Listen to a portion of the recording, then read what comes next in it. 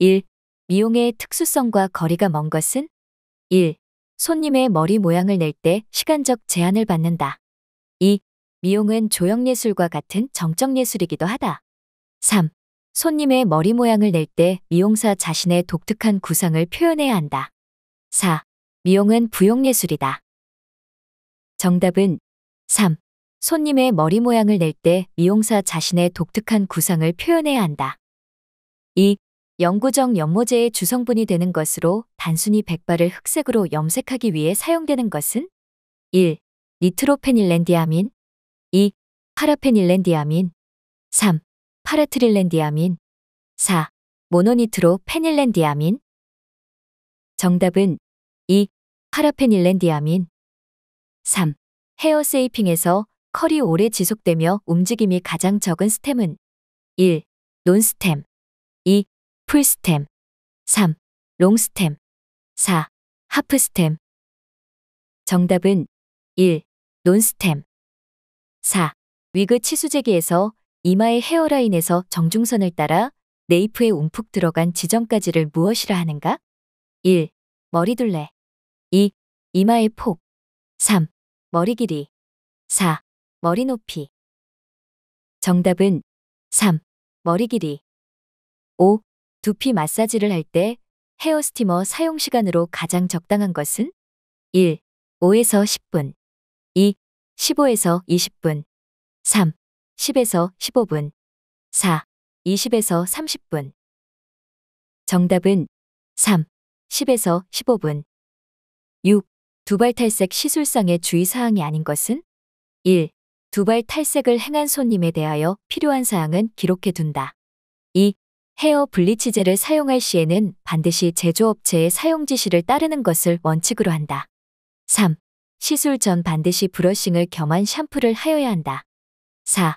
시술 후 사후 손질로서 헤어 리 컨디셔닝을 하는 것이 좋다. 정답은 3. 시술 전 반드시 브러싱을 겸한 샴푸를 하여야 한다. 7. 헤어 세팅에 의한 롤러의 와인딩 시 두 발 끝이 갈라지지 않게 하려면 어떻게 말아야 하는가? 1. 두 발 끝부분을 롤러 중앙에 모아서 만다. 2. 두 발 끝부분을 임의대로 폭을 넓혀서 만다. 3. 두 발을 90도로 올려서 만다. 4. 두 발 끝부분을 롤러의 폭만큼 넓혀서 만다. 정답은 4. 두 발 끝부분을 롤러의 폭만큼 넓혀서 만다. 8. 콜드웨이브에 있어 제2에게 작용에 해당되지 않은 것은 1. 산화작용 2. 정착작용 3. 중화작용 4. 환원작용 정답은 4. 환원작용 9. 컬을 깃털과 같이 일정한 모양을 갖추지 않고 부풀려서 볼륨을 준 뱅은 1. 플러프뱅 2. 롤뱅 3. 프린지뱅 4. 프렌치뱅 정답은 1. 플러프뱅 10. 아미노산의 일종을 환원제로 사용하여 연모와 손상모 등의 퍼머넌트에 적당한 것은 1. 시스테인 퍼머넌트 2. 산성 퍼머넌트 3. 거품 퍼머넌트 4. heat 퍼머넌트 정답은 1.